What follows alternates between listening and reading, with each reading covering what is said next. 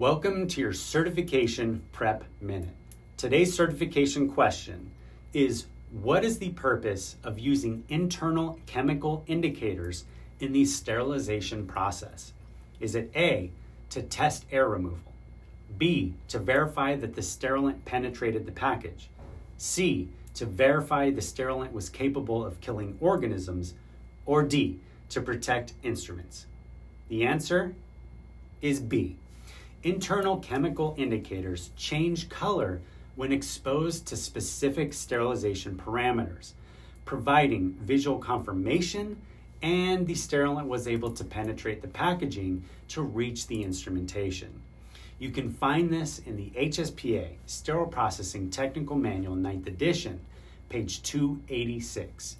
Don't forget, if you're studying for a sterile processing certification, Visit thesterileguy.com for all the flashcards and practice exams you need to successfully pass your certification test. Good luck, my friends. You got this.